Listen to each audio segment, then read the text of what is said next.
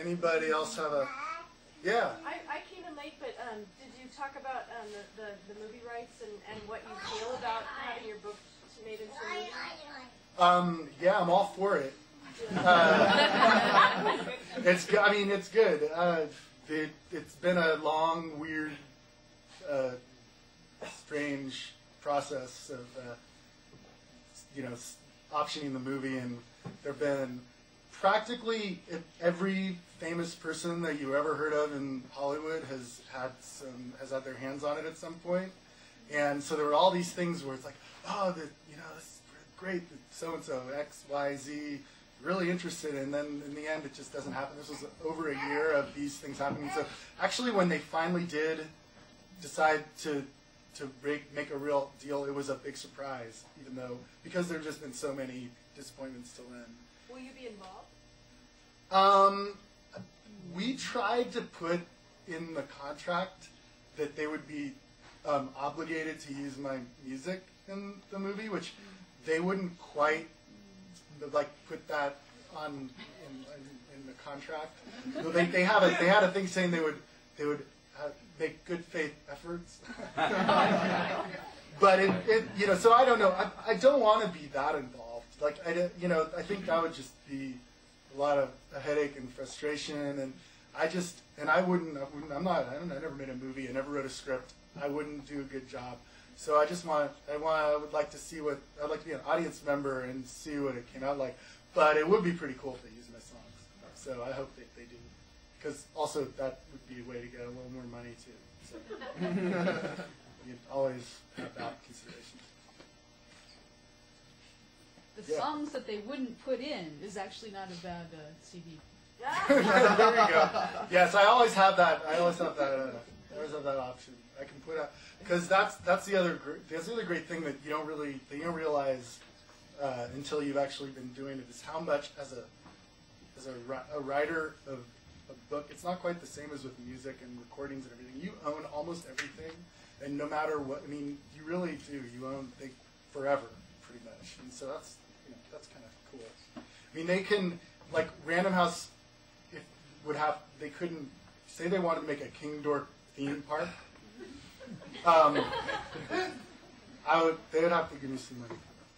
Um, my understanding of the fine points of the legal system.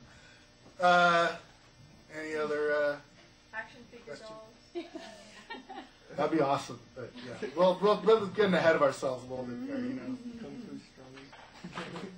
Um, I yeah, but the more things, the more things, the better, really. How, how close is uh, Tom's uh, band, early band experience to yours? Um, it, it's pretty close. Um, I think that his the difference between my attempts at having bands and his, I mean, it, it was similarly inept and and uh, doomed to failure. But I think he had he has higher concepts than than I had. You know, I mean, I just was I, I would I would, and in in the end, I think he in the end, I think that's something that he kind of learns towards the, not completely, but towards the end, is like, you just are feel like you've achieved amazing success if you can actually get it so that everybody shows up, like at this on the same day, and then if you can make it through one song, then you're just like, God, show business success. And it's like it, the, the grand schemes, like Tom Henderson has. I mean, they they do tend to stay in your notebook um, when you're in, in high school or even when you're in your 30s. So so it goes. Was uh, Sam John Bond at all? No, Reading no, no. into it. No, um, I, I did have an alphabetical order friend when I was in um, in uh, high school, but uh, we never had bands together.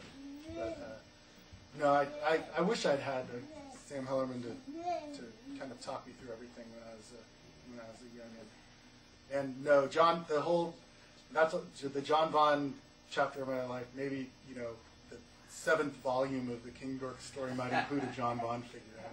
I don't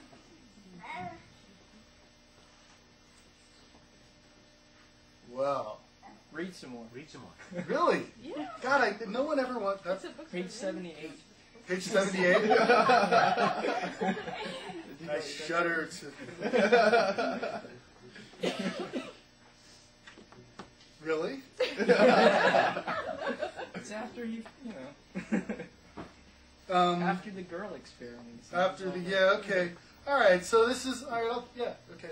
Um, so it, the, my character has a um, sort of unexpected and mysterious encounter with a, a, a mysterious female at a stoner party, and uh, he spends some time trying to analyze the implications, and so this is uh, this is where. Um,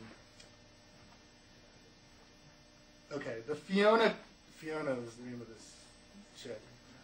The Fiona Couch episode had been the most successful interaction with a female in my life, surpassing many of my least plausible dreams. The case could be made that it had been my only genuine interaction with a non-related female ever. The previous ones having taken place in my head as pure fantasy, or in the real world where I'd been an object of amusement rather than a true participant. How could I not be obsessed? It was the most significant event in my life so far, by far. Um, Mm.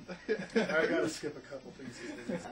The central, most important question was why had Fiona decided to kiss on me and everything when no previous girl I'd ever come in contact with would have been caught dead in that situation?